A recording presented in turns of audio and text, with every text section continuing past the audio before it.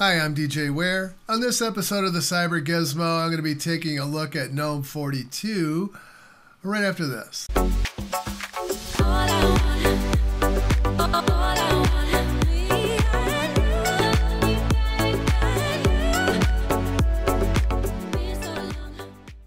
So the first thing about GNOME 42 is that it's the result of six months worth of work. This release provides significant new features, enhancements, and minor improvements. It was released on March 23rd, just a day ago from when I'm making this video. Uh, 2022, of course. So, the first thing that you have in this one is a new and improved dark style. So, you'll notice that when you go into appearance, you'll get uh, this style up here that has light and dark in it. The light and dark is globally implemented. So, whatever I do here will affect applications uh, all throughout the system, including the background. So you'll notice down here these background wallpapers have a split. So the the left the left hand split is for the light, the right hand is for the dark. So it'll show you uh, based on you know which one you choose, which one you get. So it it'll darken up. That's I I think that's kind of nice, you know, that from the standpoint of being able to do that. The the other thing is that if you want to leave it light but you prefer a dark app, let me let me show you how that works. So you can control this by the app. So you'll notice that this one is dark even though my background, I believe, I think is also dark. Let me just check. No, it's light. So I can change it here to what I want the application to be independently of the system. So on some applications, I may prefer to have a light background. On some of them, I don't. So uh, in this case, I'll probably just leave that dark. But yeah, you can control that. Now that's not implemented on every single one. There's also a new screenshot experience as well. Let's say that I am interested in this and I want to record my session or I want to take a screenshot. So I hit the print screen button, the PRT SCR button, and you'll notice right away it comes up with a selection box that I can, you know, I can resize it any way I want to, or I can have it take a screenshot of the full screen or just the window, which would take all of it. So I can then just go ahead and choose the screenshot, snap it. It will put that in my pictures folder. And there it is right there, along with two others I did earlier. Or uh, if I wanted to, I can hit the print screen button. And this time I want to video that window. And we'll go ahead and hit record. Now I'm not going to play that because I'm sure that would be a problem.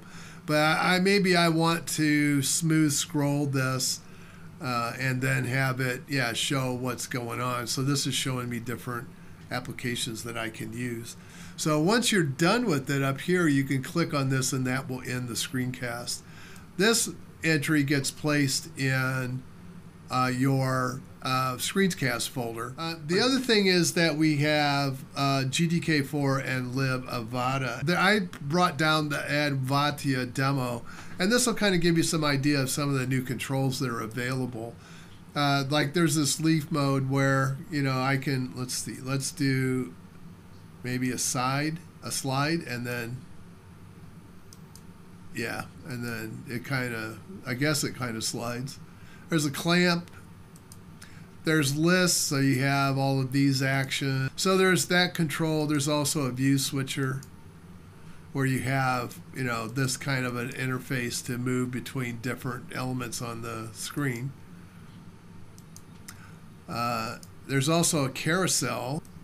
Oh, okay. You can drag it. And then there's an ab. You can change your avatar. Kind of stuck with whatever it wanted to show you. So I can show. I can turn the initials on and off.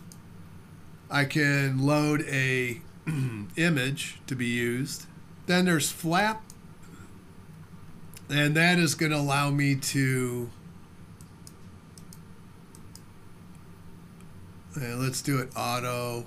And so we have folding start and end. You can reposition where I want the menus. There are a lot of features in here that uh, will do that. So then you have the tab view here. So those have all been newly uh, upgraded versions of the apps that can be installed also via Flatpak. And you can, let me get my cursor back on here again.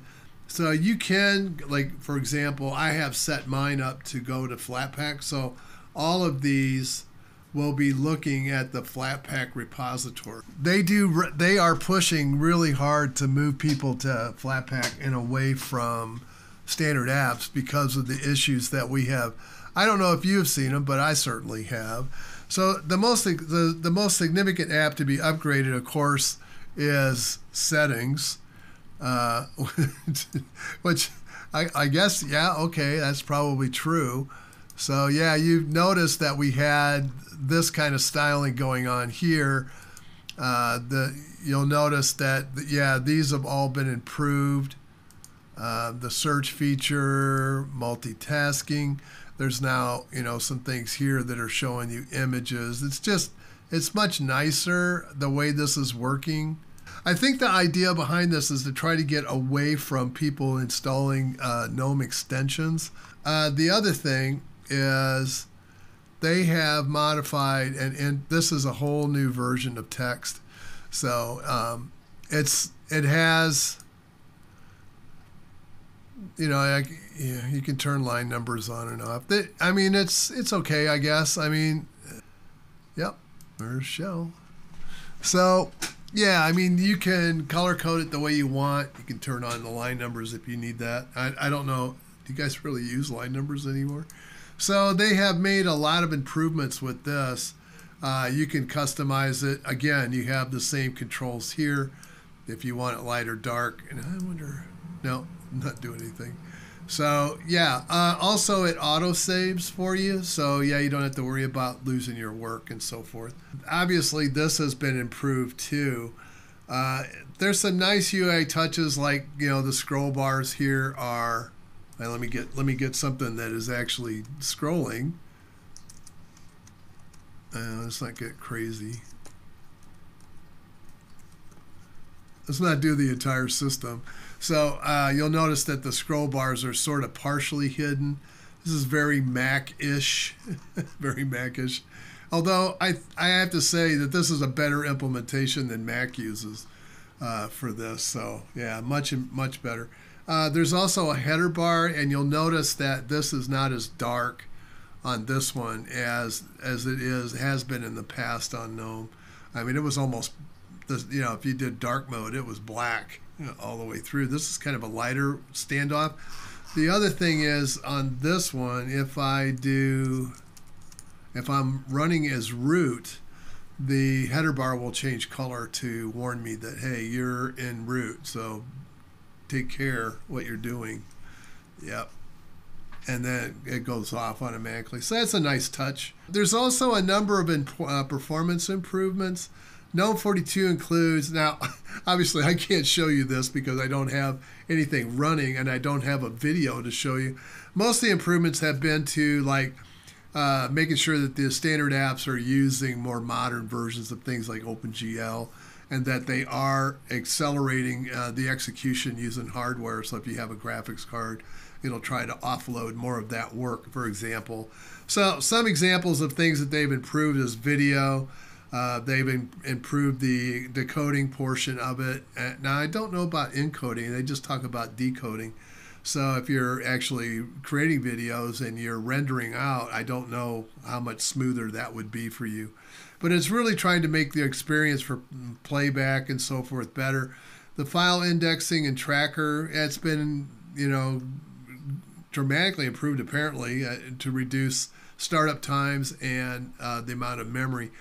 The other thing is that the input handler has been significantly enhanced. So that results in lower input latency, so you shouldn't see as much lagginess when you're typing stuff in or you're answering a modal dialog box. Also, it uh, will also uh, lower the power consumption on devices, uh, particularly if you're doing video playback, and it should also, because of that lower latency, it should increase the frame rate for games. So if you're a gamer, uh, GNOME will provide you some additional support uh, to try to improve things. The other thing, let me make sure I have my cursor here. Yeah, let me. I'm training myself to use boxes. The other thing is that you have there's a new function now uh, under Connect. Before this only allowed VNC connections. They now default to RDP. Uh, they still provide support for VNC, but they are they are saying that this is their preferred way. Uh, okay, if if you insist. I mean, RDP is not all that secure, but some other improvements are the styling of GNOME Systems UI. That's been updated, as you can see. Or many of these changes are subtle, um, but there's a more polished and an elegant appearance. And I think you can see that you know, some of the things that they have changed are like these drop downs up here used to be a little bit further down on the screen, and now they're really tight, almost up against the bar. Um, so, and they they have also improved, you know, the visibility of some of this stuff. So they have changed the uh, icons. Finally, got away from those those uh, beige boxes, uh, the beige uh, icons that they used to use for GNOME that looked horrible. So yeah, they finally have gotten a, a, a more decent uh, set of icons, which look nice. Those look nice. Uh, also, I don't have boxes installed because I am running on boxes, but I can tell you I am running the Flatpak version of boxes, which is the latest release that is on track with GNOME 42. So I had to go and actually, uh, well, they recommended that I use the latest version of boxes for this, and the reason for it is boxes uh, has better support for modern uh, uh, UEFI uh, systems. So, yeah, and the other in the in the past, sometimes when you had UEFI uh, based uh, ISOs, it just wouldn't launch under boxes, but they do now. They work fine. in videos, the media playback can now be controlled by the integrated media control in the notification list. So when you get a notification, say from YouTube or from wherever, uh, that there's a new video, you can now play it directly from that notification. So, what are some of the what are I guess what are some of the wrap up on on on what I've kind of given you some of my opinion as I went along here. But GNOME 42, when can you use it? In April, Fedora 36 I assume that also means that Silverblue will also have it because they kind of track in the same uh, versions that they have. For one, will be in the other. So, GNOME 42, there'll be a full implementation of that on Fedora Workstation 36, and I would assume Fedora of Silverblue 36 as well. Also, uh, Ubuntu is, uh, 2204 will include the bulk of uh, the GNOME 42 release and the extensions from GTK4 and lib uh, Adwaita. So the the problem is is that with uh, Ubuntu is they have, as you know, made a lot of changes to the to the applications to support the changes to the UI that they want. That means that their development time. So if I'm releasing uh, GNOME 42 now, now I'm sure they've been working with the beta, but in order to have a really stable release to do testing, they only have from now until what third week, fourth week of April, somewhere around in there, when they actually release uh, Ubuntu uh, 2204 to actually complete testing, and they just don't feel that they have enough time to make sure that they get all the apps in. So they're they're going to have some that will have the look and feel of GNOME 42 integrated, and some that won't. Uh, but I can tell you that that's going to be true no matter where you go because it'll just be the only ones you're guaranteed to have the new 42 is the applications that GNOME releases. So I don't know if that means that uh, Ubuntu is holding back some of the GNOME applications. We'll have to wait and see what that actually means. So that's all I had. Um, uh, yeah, it's uh, it is out, it is uh, available, and it will be coming. That's all I had for today. Please like and subscribe. Hope to see you all again real soon. Bye for now.